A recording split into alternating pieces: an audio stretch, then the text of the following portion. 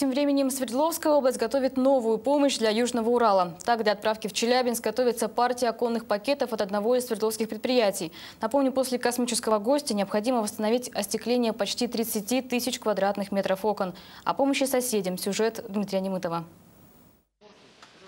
Всего за одну секунду четыре полузаготовки превращаются в оконную раму. Раньше на эту операцию могло уходить до часа. Сейчас же варочная машина выдает готовый контур мгновенно. Рабочие поторапливаются, потому что эти окна крайне необходимы Челябинскому детдому номер один. Взрывной волной от метеорита там выбило большую часть стекол. Чтобы вернуть тепло в здание, нужно минимум 70 квадратных метров стеклопакетов.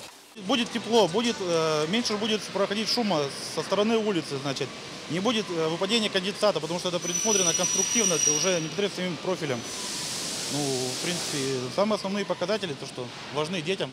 Клич о помощи южным соседям был брошен в пятницу. Наиболее пострадавшие от взрыва города – это Челябинск, Коркино и Копейск – срочно нуждались в новых окнах. Более десятка предприятий Среднего Урала предложили своих специалистов и все, что есть на складах. Все расходы производители окон взяли на себя. Ремонт детдома обойдется в 500 тысяч рублей. Мы ничего не боремся, мы просто помогаем людям. А в данном случае мы помогаем детям.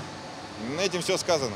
Поврежденные взрывной волной объекты, это в первую очередь больницы, школы, детсады, разделили между строительными организациями. Более 100 специалистов Среднего Урала уже произвели все необходимые замеры на закрепленных объектах. Всего необходимо поставить больше 30 тысяч квадратных метров стеклопакетов. Это годовая норма одной оконной фабрики. Средняя стоимость одного метра – 5300 рублей. Все вопросы о компенсации будут решаться позже. Пока задача номер один – произвести ремонт до конца этой недели цели. Работу, которая была произведена нашими организациями, я оцениваю как, э, собственно, на отлично, потому что э, и руководство э, этих предприятий ну, откликнулось и, по сути дела, не ставили вопросы о том, каким образом будем добираться, там, дайте нам автобусы. Большинство людей выехало своими машинами, со своим оборудованием, со своими даже материалами. Новые окна отправят в Челябинск уже завтра. Дмитрий Немытов, Александр Плюснин. Информационная программа «День. Екатеринбург».